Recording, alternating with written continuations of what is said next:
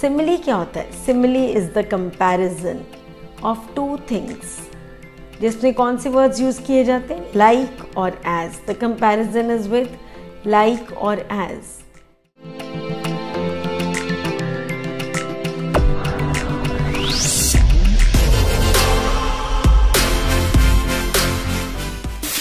Hello, dear friends. How are you? Hope you are doing well. And studying very hard for your exams now. And today I have a short video of poetic devices for you. Poetic devices used in elementary school classroom in a slum. And uh, if you like my video, kindly like, share, and subscribe. So, beginning with the poetic devices, the various poetic devices of this poem, elementary school classroom in Islam, are metaphor, irony, synecdoche, imagery, alliteration, and simile. So, starting with the first poetic device, simile. Simile क्या होता है Simile is the comparison of two things. जिसमें कौन से words use किए जाते हैं like और as the comparison is with like और as like uh, there is these are the following similes which are used in the poem. You can underline in your readers also. Lives like catacombs. Then there is simile slums as big as doom. Faces like again rootless weeds and mended glass like bottle bits on stones. Next is metaphor. Metaphor is the comparison of two very different things बहुत अलग चीज़ों का comparison दो ऐसी बहुत अलग चीज़ें जिनका कंपैरिजन किया जा रहा है।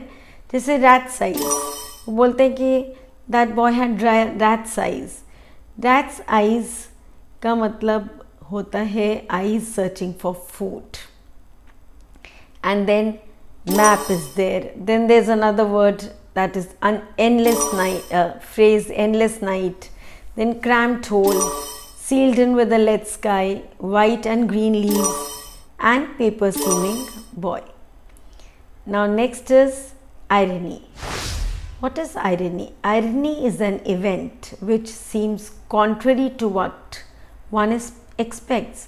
कुछ ऐसी चीज़ जो विपरीत हो जो हम सोच रहे हो उसके विपरीत हो like map donations it is something you know which is uh, which the slum children are not aware of slum is uh, maps they've never seen the outer world right the donations like shakespeare head jaise aap, aapne poem mein padha hai tyrolese valley the things which they've never seen that's something very contrasting to their own world yes next is alliteration alliteration is the repetition of the same consonant sound जैसे फार far from और next है break O break then from fall and next we come to सिनिकडिकी it is a figure of speech जिसमें a part is made to represent the whole a part represents the whole जैसे Shakespeare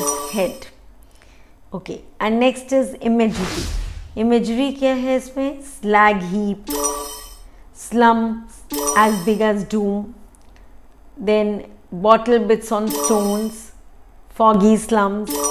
So these are all imagery. And that's all for today. Thank you so much and bye bye. God bless you. And if you like the video, again I say kindly like, share and subscribe.